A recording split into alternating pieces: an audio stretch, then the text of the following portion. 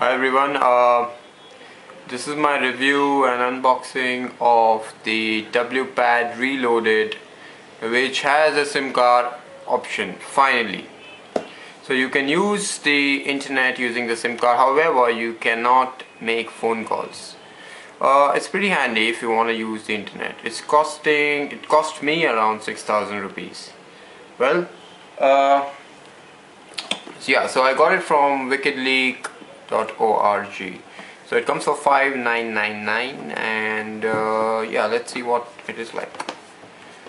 Alright.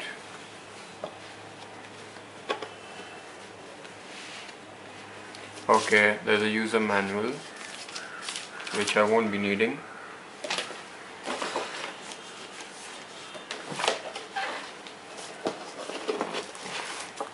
That's the tablet.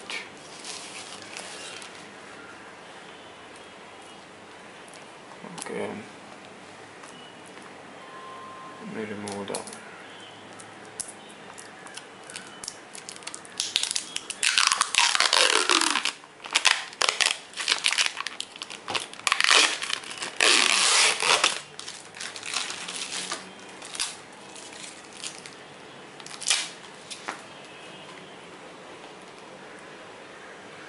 Another protective layer on top of this um, which comes out this way okay so we'll get back to the get back to it in a minute. What what else do I have? I have earphones which are okay these are earphones. Uh, I've got a charger and I've got an adapter uh, Indian adapter okay so that's the box. Let's get to the tablet. Okay let me boot it up. It comes with Android 2.2 so yeah it's booting. Okay so the body is pretty nice. It has got two speakers here. Uh, it has got two volume buttons a power button it has got a USB port right here. It has a mini USB port as well and a OTG port to connect it to the computer. It has a earphones uh, uh, port. It has a micro USB port so it can be expanded to 32 GB it has a built-in space of uh, 4 GB 4 GB well uh, this is the microphone and this is the plug for charging. Okay so while it's loading let me get my SIM card. Uh, so I've got my SIM card which is the Reliance GSM SIM card. This tablet only supports GSM uh, SIM card so you can use Airtel, Vodafone, Reliance or whichever uh, MTNL I'm not sure about MTNL but but you can I'm pretty sure you can as long as it supports 3G and 2G networks. Okay so, so the SIM card goes in this way.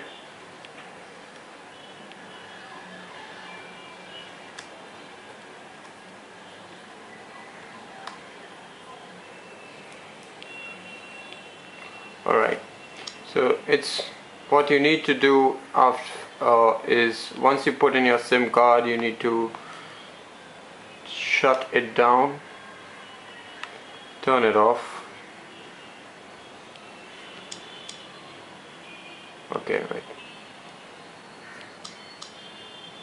Right and you need to boot it up again. So let me boot it up again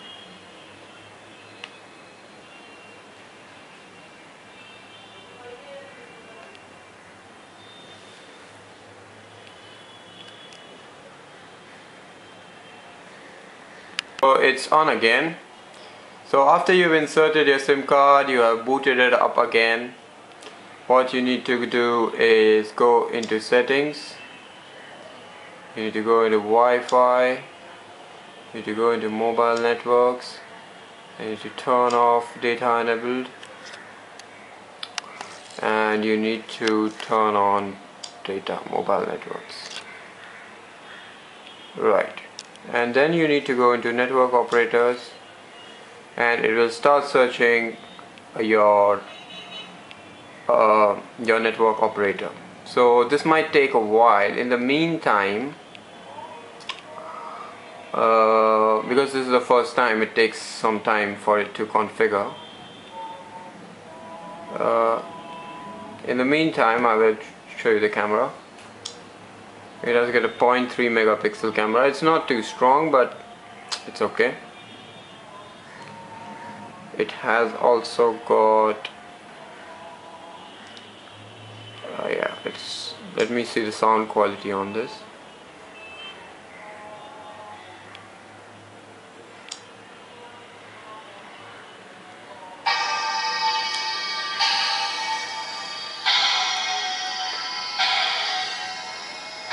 okay as you can see the network it has already connected to the network and you can see the network symbol has changed.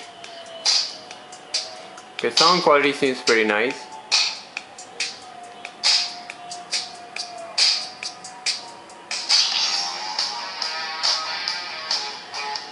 Yeah I need to turn it off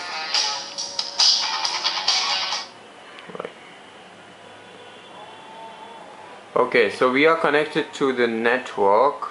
What I need to do is go into settings wireless and then I need to enable data okay okay right. So as you can see we just got the symbol for 3G or 2G data. I'm using a 2G data plan as it is cheaper. 3G is too expensive but it also supports a 3G dongle uh, which you can connect it over here. Anyway, so let's see the speed of the internet on it. Uh, it's two.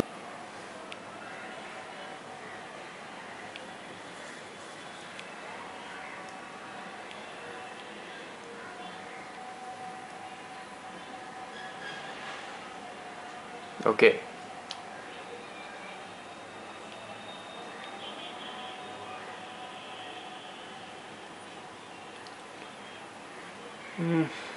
seems slightly slow but well it's loading. Okay there you go. That's Google for you. And let me see what happens. If I search for say wicked.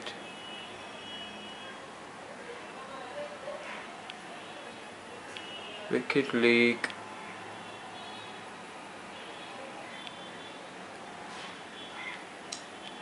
W pad. Okay.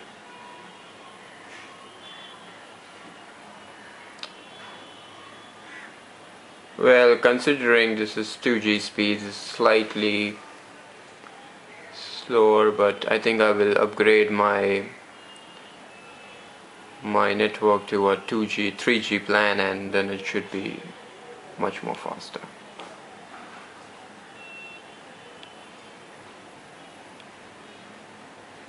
Right.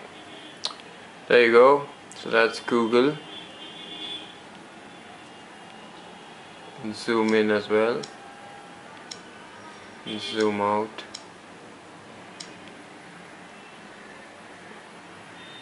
Okay. So let me see the videos on this as always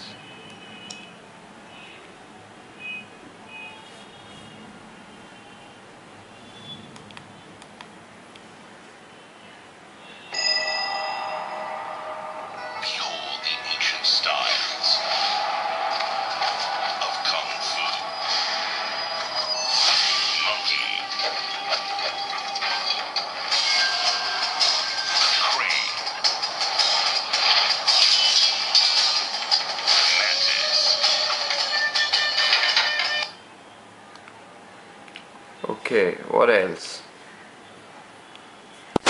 Yeah let me go into settings. Uh, yeah so it has got sensor calibration that means it has got it has got four-way G sensor. About device it has system updates so you can update the system if any updates are released you it has got Android 2.2 2.6 kernel which is Android Froyo. Uh, yes so that's about it. Uh, well it has also got an option for call settings. However I've been told that it does not support phone calls right now well uh, this seems like a good option compared to the one the other tablets wherein you have to connect a 3G dongle. Uh, there are uh, the closest uh, tablet this is the cheapest one which supports a SIM card and it has uh, decent speeds. I won't say great speeds but it has got decent speeds. Uh, pretty helpful if you want a cost effective tablet which supports a SIM card and you can use it on the move and you don't want to use a 3G dongle and have the hassle of connecting it. Uh, yeah so it's pretty uh, smooth. Uh, I mean loading takes a while but again it also depends on your network operator. So that's about it from me. If you have any doubts uh, you can leave a message on my uh, YouTube video or comment on this video or share this video with your friends so they know about this. Uh, at a price point of uh, 6000 rupees I think it's a great tablet uh, as it supports a SIM card. Uh, yeah so thanks a lot thank you very much for watching my video. If you want to buy this you can visit wickedleak.org uh, you can also avail of one year warranty.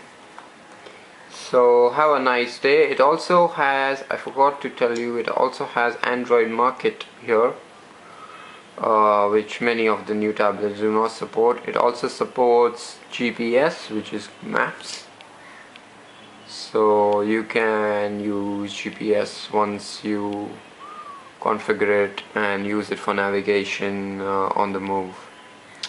Pretty handy device I would say. If you want 3G speeds you can connect a 3G dongle as well. It has got it has got the option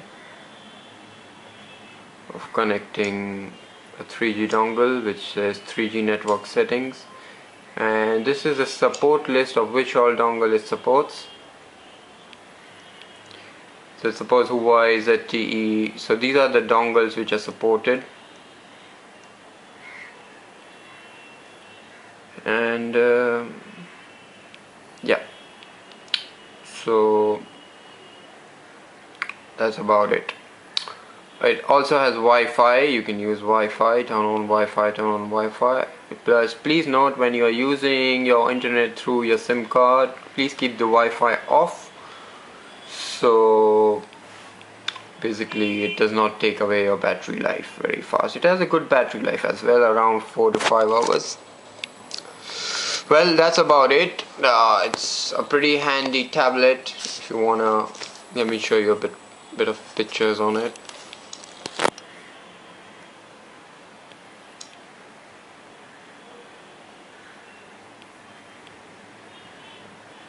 yeah so it has got it has got pinch touch so you can zoom in.